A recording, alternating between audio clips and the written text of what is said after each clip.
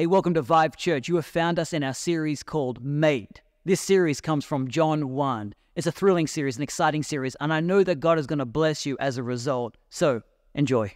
I've been in a series called Made, and I want to bring the final installment today. So, would you go with me one more time to our, our series scripture in John chapter 1? If you want to grab your Bibles, and let's stay standing for the reading of God's word. It's going to be the final time we read this for this series. You can still read it anytime you want on your own, but, but for this series, it says in John 1 1, in the beginning was the Word, and the Word was with God, and the Word was God. He was with God in the beginning. Through him, all things were made. Without him, nothing was made that has been made. In him was life, and that life was the light of all mankind.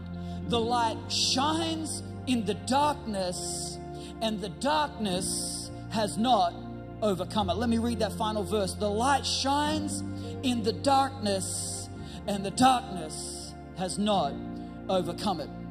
I want to close out this series with a simple sermon title today, which is Made to Win. Made to Win. You're ready for this installment? All right, if you're ready, I want you to do something real, real quick. Find five of your favorite people, and if you believe you're made to win, convince them they're made to win. Go real quick. Tell them you're made to win. You're made to win. Go, go, go. Thanks, worship team.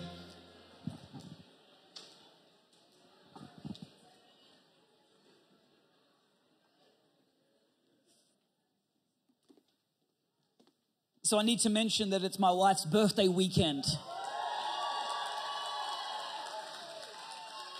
She is the finest 42 year old I've ever laid eyes on.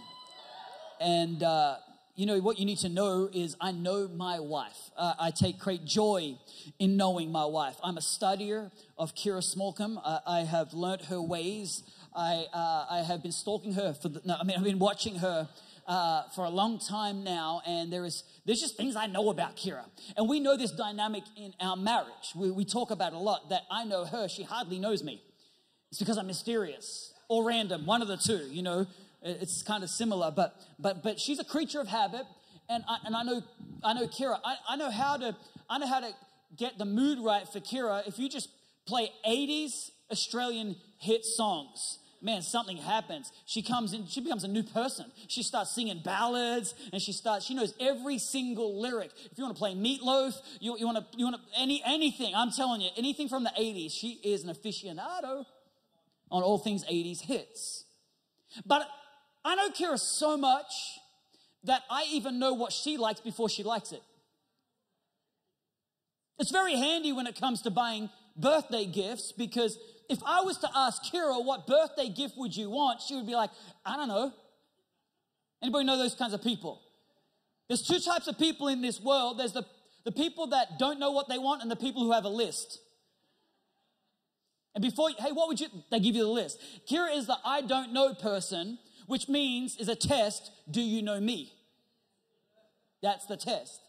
But guess what? I have passed that test so many freaking times. I know her. I know her better than she knows herself. So much so that I don't even ask her what she wants for her birthday. I just buy her stuff. Point in case is the gift that I gave her this week, which is a Garmin watch. You know, the kind of watch you track your, your data and your workouts and the technical stuff. You're all looking at me like you don't know what a Garmin watch is. Get physical, people, all right?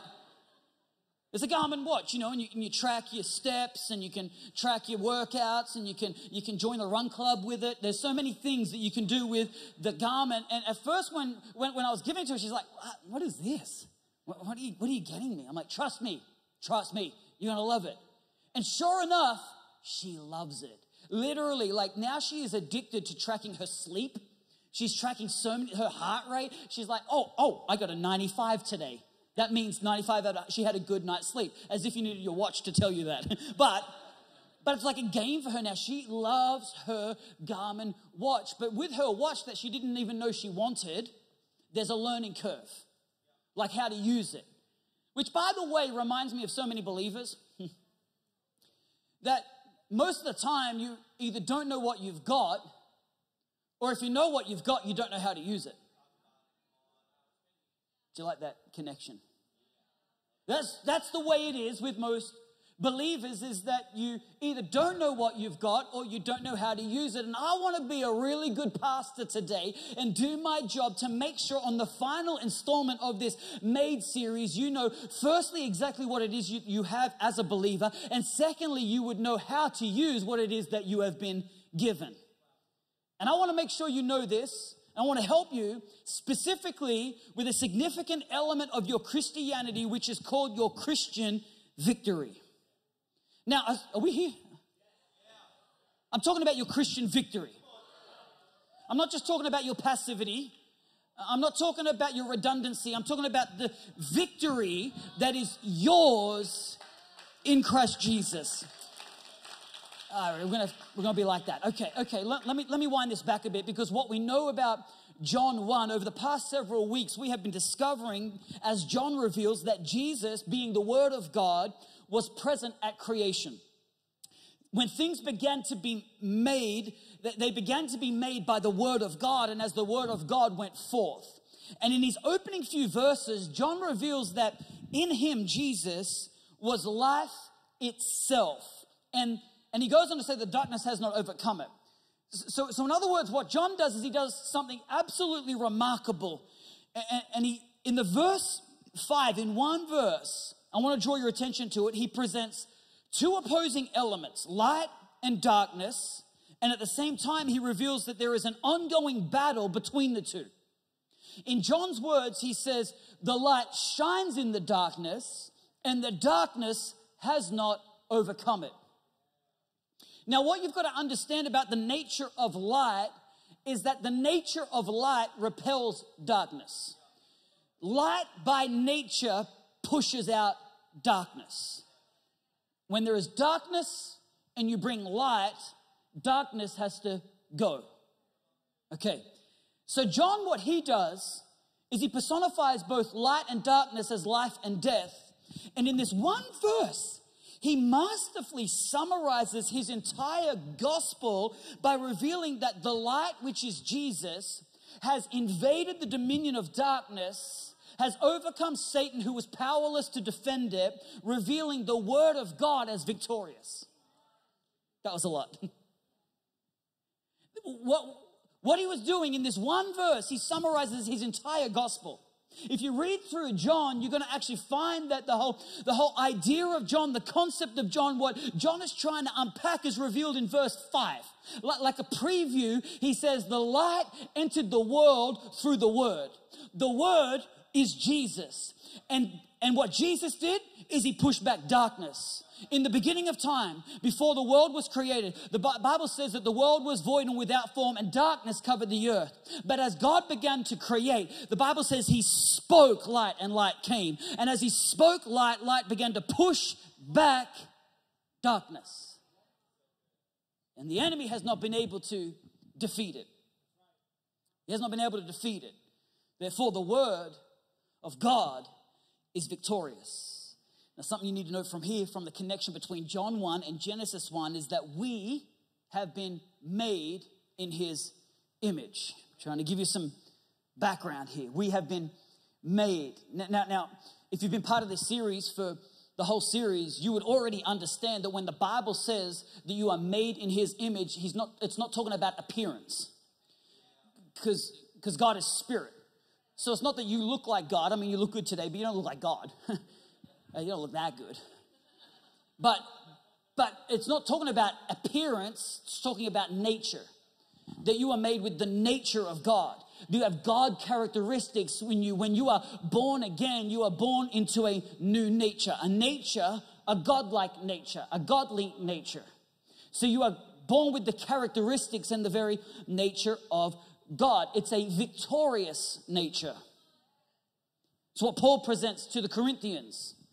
When saying to the Corinthians in 1 Corinthians 15 55, he says, O death, where is your victory? O death, where is your sting? The sting of death is sin, and the power of sin is the law. But thanks be to God who gives us the victory through our Lord Jesus Christ. So, what the apostle is doing is the apostle, as closing out his letter to the Corinthian church, he decides to conclude the letter with the reminder that they have been given a new nature, and the trademark of that nature is victory. Okay, stay with me. I want to go at a pace today that wasn't as furious as the first service. I want to make sure I take everyone on the journey today. Sometimes I can get ahead of myself because we're talking about the victorious nature we have in Christ Jesus. I get a little excited. So I'm going to pace myself and make sure we all take notes and we all go along the journey together because you're going to need this. You're going to need this. You might not need it right now because it's Sunday morning and the victory's already been won for you. And so you come into a victorious setting, everything's happy, everything's mighty, you're feeling victorious, you want to fight, but Monday morning the fight's coming to you. And you're going to need to know this. And you want to whip out your notes. And if you're not taking notes, you're going to go, Where are my notes? You don't have them. I want you to have them. You need to know that you have been given a new nature. Believe it or not, this is extremely important for every single believer to know that, that to know what it is that you've been given. I want to make sure I help you by understanding is that the truth of the matter is you have you have a new nature. Meaning before Christ came into your life, you simply had what was called a sin nature. That is the nature that you were born with, was a sin nature. Because of the fall in the garden, we know this, and in that moment, we see sin entered the scene. And so everybody since that moment, born of a woman, has been born into sin. So your default nature being born was sin nature. But because of Christ and his victorious work on the cross, those that are born again are born now with not their, just their sin nature, but you're born into a new nature, which is a victorious nature. Thank you, Pastor Ben. You're with me. Now, now this is important to understand because I know what can be complicated is you're like, nature, I don't know that talk. L- let me substitute for a moment the word nature with capacity. Because when you, without Christ, you have an incredible capacity to sin.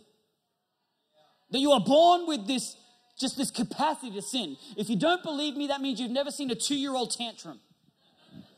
They just have a capacity to sin, to go mental. You have this capacity to go crazy. It's just in your nature because you were born with that capacity. Now, now this is this is important because this is not only unique to unbelievers, by the way, because even as a believer, you also have this capacity. That's why, as even as a believer, you have you have to times struggle with sin. I don't know why we're so quiet. It's like, not me, Pastor. Yes, you. Stop canceling yourself like you're some holier than thou. Even as believers, we struggle with sin. Can I get an amen? Like, let's be the real church. Let's just get real. Let's just let pretenses go today. No one judging you. Just go ahead and judge yourself. I am a sinner. Because this is the capacity that we have as unbelievers and as believers. The difference is, as an unbeliever, an unbeliever cannot resist sinning because they, they don't have the capacity to not sin. On the other hand, the believer, while still struggling with sin, has the capacity to resist sin because Jesus overcame it, freeing us from the enslavement to sin. This is what Romans 6 6 says, by the way. Can we put that up there? Paul wants the church to know that we know that our old self was crucified with him in order that the body of sin might be brought to nothing so that we would no longer be enslaved to sin. See, see, see pre Christ, you were enslaved. You had no choice. Like a slave, whatever sin wanted to do, sin did. So sin controlled your life. But now that you've been set free from sin, you are no longer slave. The chains have been broken. So now you have the choice to sin or not to sin. You have the choice. You have the, the choice. Now, I, I can feel the tension. I can feel that moment I see you have the choice. You're like, oh, whoa, whoa, whoa, whoa, Pastor. It's sound, that's not so easy. Well, I didn't say it was easy. I didn't say it was not difficult, but you have the choice if you're born again. If you're born again, you've been set free, so now the choice is yours. Maybe I should actually change the word choice. If we're changing the word nature to capacity, maybe I should change the word choice to battle. You can battle against. Maybe that's more appropriate because it is a battle. It ain't easy. It is difficult, but it's still yours. You can battle against it or you can relent to it. This is very, very clear from Scripture that those born again are born to win. They're born to battle. And so, the very moment you're born again, you receive that new capacity, that, that new nature. And this is the new nature, it's one that is victorious. It's given by Jesus so you can battle against and overcome sin. Simply because when, when you were born again, you were, you, you were made with the new nature, and the new nature is a winning nature. Is probably the most basic way I can boil it down. It sounds, uh, it sounds average to the Bible scholar, but it's the basic way I can do it that you, that you got winning on your side. Now, a good question to ask at this point would be well, if, if I'm made to win, to win at what? To win at work? to win at life?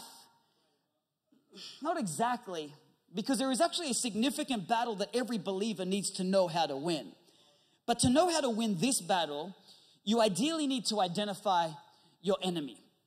Now, I've been, I've been building something for a little while. It's a, it's a mentoring program for business leaders and executives, and, and it's simply taking all my pastoring tools and my pastoring experience and putting it into the business realm. The only difference is I don't have to be as nice in business as I do as a pastor synergistic. You know, I mean, you gotta you gotta let it feed. And because as a pastor, you're trying to help people understand what God has for them, and you have to be really nice because people are resistant to pastoring. But in business, people are open to it. It's crazy. It's amazing.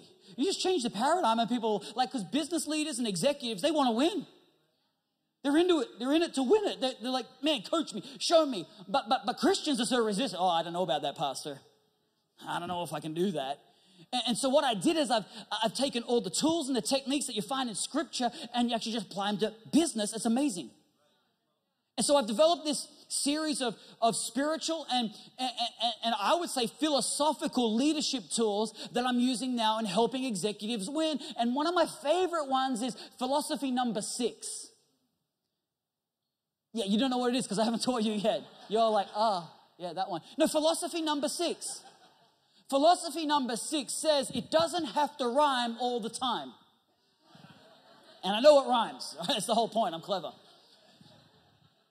But it doesn't have to rhyme all the time. And I developed this tool because I find so many humans who love a quippy statement that they can tattoo on their life or write on their wall that actually doesn't even work. But because it rhymes and it's catchy, we love to peddle it. We love to push it. We love to own it. Like, man, that's my, that's my saying. And it becomes a statement and a goal for life, but it doesn't work. Like, I don't know if you've heard this one, but I hear a lot of preachers trying to push this one. This is the, this is the one they push. They push the enemy is the enemy. Oh, God bless that. I can beat that. The enemy is the enemy. That, and, and it sounds so good. Like, I can subscribe to that because I know me. I deal with me. I look at me every day in the mirror. Every time I go to step out, I got me in my head telling me that I can't do it, telling me that I don't have the, the pedigree, telling me that there's someone better than me. I, I know. So the enemy feels like the enemy. The problem is, you are not your enemy. The enemy is your enemy. the devil is your enemy. It's just that the devil sounds like you. How else do you think the devil sounds? When the devil comes through your thought life and the devil comes into your mind, it sounds a lot like you. That's why it's so successful. But if you misplace it and you start calling the devil you, you'll be battling against you, trying to defeat something that cannot be defeated because you're already victorious in Christ Jesus. Therefore, you're just stuck in the place. Now, this whole thing is subtle and seductive. Because the truth of the matter is that you, one of the most dangerous things to the modern Christian is the self help ideology. The, the self help. Like, like I could subscribe to some self help technique to be better in this life. The problem is you can't help yourself. You can't do it. You're the one stuck. Actually, the Bible makes it more clear. You were dead in your trespasses. I don't know if you've encountered many dead people, they don't do a lot. But when you're dead, you need someone to bring life. And this is what it was with us in Christ that we were dead in our transgressions, we were dead in our trespasses. But thanks be to God who saved us from our death, who took the penalty of sin and death on his behalf, bringing life into our mortal bodies. Self help doesn't work, but it sells. It sells. Perpetuated. It's cancerous to the Christian faith. Because I don't need more help from myself, I need help from my Savior. It's, you know what? The self help uh, ideology will do, the self help ideology will get you to just be more independent from God. You get you to a place where you say, God, I got this now. God, I'm good. I got this. You got me this far, but I got it from here. Thank you very much. Let me go and make my own moves. You know what the truth of the matter is? The longer I walk with Christ, the more dependent on Him I am. Like, like, like the more I walk with Christ, the more I realize I need you with every step. It used to be I need you with every step. Now I need you with every breath. Because as I walk with God, I realize the magnitude of what He's called me to. When it, before I was ignorant, before I was just in for it to win it. God, I'm with you. Let's go for it. Now I realize there's a there's other lives on the other side of this calling. Now I realize there's a whole. When we actually started the church, we we were way riskier than we are now. Like, I'll, I'll, be at like a conference and people tell me, oh, you know, tell us how you move. Like, you, you, guys just do so much faith stuff. You're so risky as a church. And I always tell them, no, we used to be riskier. Because when we started, we really had nothing to lose. like, we're in a living room. That's how we started. No one was kicking us out of our living room. But we didn't have, didn't have a mortgage to pay. We didn't have nothing. We were just, we were just meeting together. And if it didn't work, we just start again because we were nimble and we're small. But now we've got stuff to lose. I'm more dependent on God than ever. I'm way more dependent on God. I'm, I'm, I'm, leaning into prayer like I need it now more than it was just a nice to have. It's a need to have because I know that on the other side of every decision is wait now because we've got some stuff to lose. And that's the maturity in Christ is not that I'm helping myself, but I have a Savior that's walking with me and sustaining me and holding me when I don't know what to do. And if I don't know what to do, I'm playing it safe.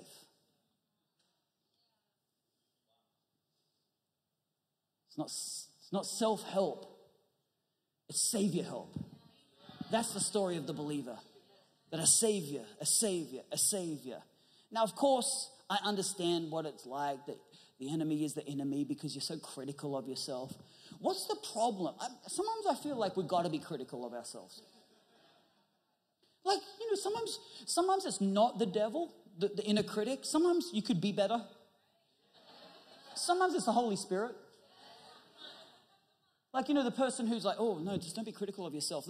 They turn up late to church and they're like, oh, no, I'm late. No, that's fine. No, be better. Be, be like, you know what? Thank you, Holy Spirit. Feel the conviction. Gonna be better next week. That's how you're meant to critique. I'm meant to be making friends. I feel like I'm making enemies. Okay.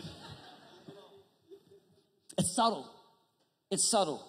It's subtle because you need a savior.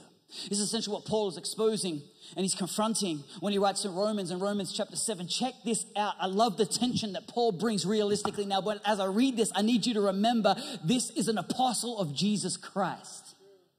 This is the one mandated with the mission to take the gospel to the Gentiles.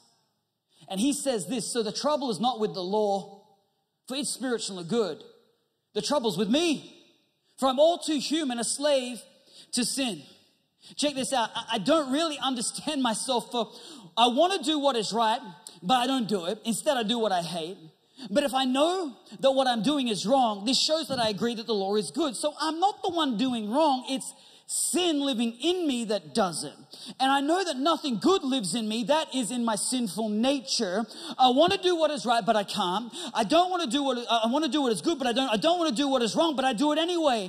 But if I do what I don't want to do, I'm not really the one doing wrong. It is sin living in me that does it. What Paul articulates there is the tension between the new nature and the old nature, the sin nature and the victorious nature. That though I'm born again and I'm in Christ Jesus, and I now have a new nature being set free from slavery to sin, I still have sin living in me. It's no longer I that's sinning. It's not me, my identity, but it's still sin dormant in my life. It's still sin in my life. So there is a process now where I got to choose, sorry, I got to do battle with sin where because I have a new nature and the old nature is still present, trying to stay remaining and taking up territory in my life, I have to lean into my victorious nature, draw some battle lines, and start to say, Sin, we're going to battle. Sin, we're going to war. Sin, it's time to fight. That is the position that Paul is presenting. He's like, I got some stuff in my life that keeps on coming up and it keeps coming back and it keeps rearing its head and I know I'm victorious in Christ Jesus, but what I've realized, that ain't me, it's sin. But if the enemy's the enemy, I miss the fact that I can't battle me. Because how do I be victorious if I defeat me? No, no, I'm victorious. But I got to do battle with sin. I got to draw some lines in my life. And I've got to start to war. In other words, Paul reveals that the real battle, the real battle is in overcoming sin. I wanted to show you this scripture. I forgot to give it to the team. I don't know if they got it up there, but I, I found it in the first service, and it's uh, in, in First John. I want to read this to you. Did we end up getting that? I forget if I gave it. To, you. yes, we did. Excellent. Look at this. Okay, First John chapter 3. This is a crazy passage. I don't know if you can handle this. If you're feeling like timid, just close your eyes, block your ears. That was your warning. Straight Bible. Whoever makes a practice of sinning is of the devil. For the devil has been sinning from the beginning. And the reason the Son of God appeared was to destroy the works of the devil. No one born of God, is born again, makes a practice of sinning, for God's seed abides in him, and he cannot keep on sinning because he has been born of God. What John wants to make sure he emphasizes to the Christians is to know that now you have a new nature in Christ, which is a victorious nature. The sin that was so dominant in your life, you've been set free from. So now what was un, you were unable to beat before, you are now victorious over now. Because of Christ and your victorious nature, you have to start to do battle with that, that old life. You have to start drawing the battle lines and actually start to identify what am I going to go to war against because I can win. It is, it is unacceptable for a believer to claim addiction.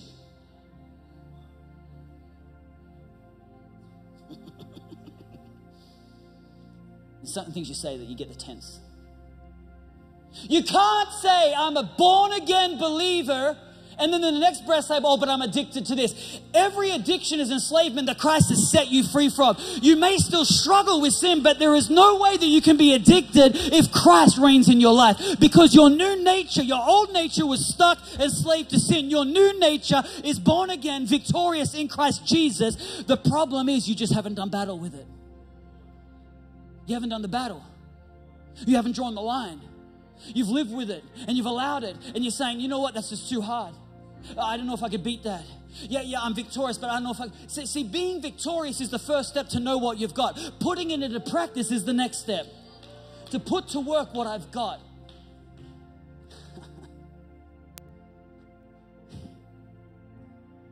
because apart from Christ, you can't. You can do nothing. However, because of 2 Corinthians chapter 5, verse 21, which says, For God made Christ, who never sinned, to be the offering for our sins so that we could be made right with God through Christ. And because I have this new nature, I need to understand I'm made to win. So my battle isn't to defeat me, my battle is to build me. How do we do that? I want to show you. But to show you, I need to show you with an Old Testament passage of scripture. Look, we've got the worship team here. I feel like they're ready to battle. I'm ready to fight. I really want to get you on the battle line as well. That's my goal today is not to get you to shrink back from the battle, but to step up to the battle. And the way I'm going to get you to step up to the battle is to show you what you've got and how to use it. Because anybody would be prepared to fight if they knew how to fight and they knew what they were fighting with. So that is my goal for you as a believer born again in Christ Jesus to know what you have in your hands so that you will actually start to engage with the battle of the sin that's keeping you stuck and stopping you, holding you back from all that Christ wants to do in and through your life. And what you need to understand is in the Old Testament, is that the Old Testament, the Old Covenant, you have what's called types and shadows. They're a forecast or a pretense to what you will find and experience in the New Testament. So, so there are physical battles and physical things that happen in the old covenant that are illumination of what we can deal with as a spiritual experience in a new covenant. Are you with me? So, what you're going to find, and this is going to help you, that you're going to find that often in the Old Testament, God would call his people, the Israelites, to go up in battle against the enemy. The Israelites were called the people of God. The enemy were those that opposed God and his ways. And so, whether it was the Amorites, the Jebusites, the Amalekites, the Hittites, whatever the ites, God would call them to go up and he would often say, Make sure you eradicate them. Now, I've heard a lot of woke Christianity who are saying, well, you know what, I just don't know if I can subscribe to the whole Bible because I don't know if I can believe in a Bible that God, you know, He advocates genocide. That's not what was going on. What He was indicating and illustrating, if you have the wisdom to apply it into your life, this is why you need the Holy Spirit as the interpreter and the revelator of Scripture, is God was revealing that the same way that they disobeyed God, and they often did, where they would leave some of the enemy uh, and they would make sure they would bring them into their homes and they would make them into their servants and they would even marry some of the enemy at times. It was an indicator that if you do this in your life, where you leave areas of your life in sin and you don't address it and you don't eradicate it, it will be the very thing that ends up corrupting your life or keeping you stuck, stalled, having to go around and around and around again. So he gives us an Old Testament picture of what happens in a new covenant setting that we can apply spiritually. So now you know that background. I need to show you in Deuteronomy. But before we go to Deuteronomy, let me give you the new covenant picture of the Old Testament setting. Can I do that real quick? Because we read it earlier in, in, in Corinthians, First Corinthians, chapter 15. Worship team, come up with me because I'm going to need you. I'm going to need you. Everyone's quiet. I'm going to need you. I'm going to need you. First Corinthians, chapter 15, verse 57 says, But thanks be to God who gives us the victory through our Lord Jesus Christ. So hold that in your mind. Be thanks to God who gives us the victory through our Lord Jesus Christ. Now, if we go to Deuteronomy chapter 20, you're going to find this passage that talks about the laws concerning warfare. And check this out. It says this a set of rules that the Israelites had to follow when engaging with the enemy. It says this when, when you go out to war against your enemies and see horses and chariots and an army larger than your own, you shall not be afraid of them, for the Lord your God is with you, who brought you up out of the land of Egypt. In other words, when you're facing errors in your life that you say, you used to say, I was addicted. When you're facing errors in your life that say, man, I'm never going to get free from that. When you look at errors in your life and you say, ah, man, that's generational. I don't know if I'll ever break it. It was in my father, it was in my grandfather, and it's running in me. You've actually made an excuse. You've determined that you're afraid of that thing. The Bible says the first thing to do, do not be afraid. Do not be afraid. Then it goes on to say this, and when you draw near to the battle, the priest shall come forward and speak to the people and shall say to them, Hear, O Israel, today you are drawing near for the battle against your enemies. Let not your heart faint. Do not fear or panic or be in dread of them. For the Lord your God goes with you to fight for you against your enemies and to give you the victory and to give you the victory. Did you get that? The, the, the New Testament, the new covenant is that God, through Jesus, has given you the victory. Under the old covenant, the type and shadow was when you're drawn into the battle, don't be afraid. In fact, there's three things. I need you to write these down. Firstly, do not be afraid. Do not be afraid. Do not fear. Do not dismiss it like you'll never beat it. Do not say that it's too big for me. Do not say that this is a hereditary thing, that this is a generational thing, that this is stuck within me. I'm not resigning to the fact that this is just a part of my life. No, I will not do that. I am not afraid of that thing. Secondly, God is with you. the priests had to come and remind the people, even if the enemy looked bigger than them, even if they had more horses and more chariots and they were more intimidating, the priest was to remind them that God is with you. And thirdly, God is fighting for you. See, this is crazy. This is crazy. I could tell you story after story where the Israelites would go into battle and they wouldn't even swing one sword. God would fight for them. And this is what it's like in our life. God says, first thing, don't be afraid. Start calling some sin out. Start calling some areas out. Start then start drawing some battle lines. Say, sin, this has been in my life too long. Lust, I'm coming after you. There's things, anger, the days are done. Literally start drawing some battle lines. Remind yourself, God is with me. That gives me the confidence to draw the battle line in the first place. And then it says, go into battle.